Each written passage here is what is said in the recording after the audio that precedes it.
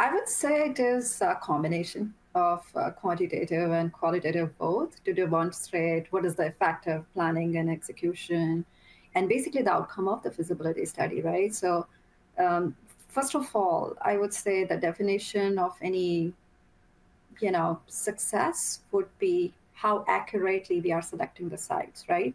So the quantitative would be the number of sites selected are okay. actually that actually are successfully enrolling the patient. Qualitative would be how those sites chosen based on our robust criteria of demonstrating capabilities and interest also about the sites, right?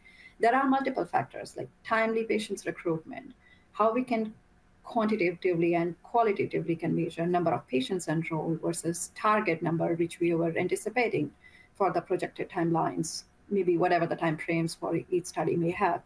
How the I again coming from the data and data science background, I would call it the high data quality. I always emphasize on very high quality um, data of information on the basically the rate of the accuracy of the data and uh, the completeness for from the sites, right? How they are completing all those you know different metrics accordingly, and how we can have minimal data queries and discrepancies, which basically should indicate our strong, strong site training, um, and how they are adhering to the protocols as well, right? So mm-hmm. those kind of different combination of quantitative and qualitative measures.